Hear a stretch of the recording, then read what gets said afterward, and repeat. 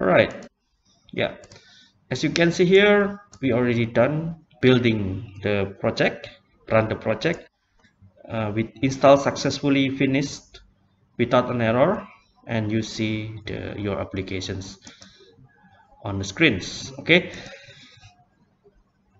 So you that's how you work with emulator now how about we run the project using the real device okay so what is the differences between emulator versus device? Up until this day emulator still can't match the real device performance. Of course you just emulate something right? So it must be under performance compared to the real device. Especially when you want to test your games yeah android games 3d games it's better you use the real device rather than the emulator okay? If you don't want or can't use emulator yeah you can use your own tablet or smartphone. Emulator useful to test application on different system configuration like screen size android version different ram and so on.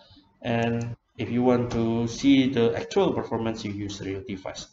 Um, unfortunately when uh, you work the, with the real device you have to do some preparations such as you need to connect your phone to the computer using data cable the official data cable and you have to turn on the USB debugging option which is it's hiding yeah? As default is is disabled as the default and then you have to find out how to to turn on turn that option on find the developer's option in setting but the settings in different devices uh, somehow different okay so it's hidden and need to be turned on first. So you have to check out check the, to the internet how to turn on the USB debugging and on your on your phone brand yeah? So to activate the developer options you can uh, visit this link okay? And it shows you to how to turn on the developer option on different devices different brand. And preparation on the PC you have to install the USB driver according to the smartphone brand download the USB driver here. This is the link. You can download for the driver for your Android manufacturer Android brand okay? And then the last step is connecting your device and PC using data cable. And then you see something like this. It asks you to allow USB debugging like this. Simply tap OK and then you can use your smartphone to debug or run your Android Studio project. And now when you run the project it will show you several different options. Like you want to run on on your Samsungs here or you are using you want to use emulator. So when you click your real devices and and the Android Studio will install the application in your real device okay? So the troubleshooting yeah? Somehow when I run it uh, no no devices shows on screen like this. I, I can't see my phone here. If you somehow en encounter that problem you can follow this these uh, steps yeah? So you need to open the command prompt navigate to android sdk installation path like this. I don't know where you put the android sdk but uh, please search for this folder and then type adb devices if device status is device it means your device is connected and if device status is offline please check your connection means use the official data cable or change the USB port and try to deactivate and activate USB debugging again. If device status is unauthorized means that your PC is not allowed to access device. So you need to revoke the debugging authorizations and repeat the steps again. And don't, don't forget to press OK button when the option allow debugging options uh, comes on screen.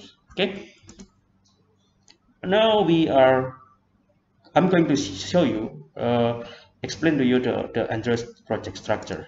Okay so manifest yeah on the top one you will see what is this.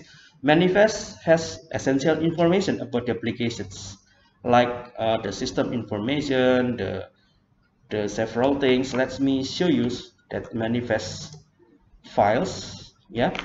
It has it's it's it's using xml format. This one the first one the manifest and the follow one as, as applications. And it contain one activity the main logic of your application. Eventually you can end up with more than one activity. Don't worry about that okay so this is uh, information about the icon the launcher icon and the label here and so on and so on the theme you use and so on. There's several information on manifest. This is very important. Okay? Java. Yeah? The folder java consists of kotlin or java source code. This is uh, where you work mostly most most of the time you work in this folder. Yeah? So here an activity here you see here you spend your most time in java or kotlin file. Okay? The resource or drawable um, i mean we have resource file and it has several folder. The first file the first folder is drawables it contain every graphic image that you can use or asset yeah? So in this case there's only one or two files which is uh, the icon the, the application icons yeah.